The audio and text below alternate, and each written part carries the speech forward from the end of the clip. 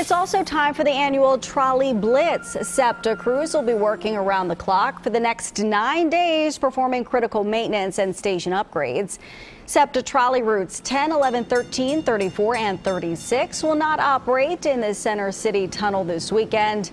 Another change, trolley service will begin and end at 40th and Market Streets. We're told customers can board SEPTA's Market Frankford line at 40th Street Station for travel to and from Center City.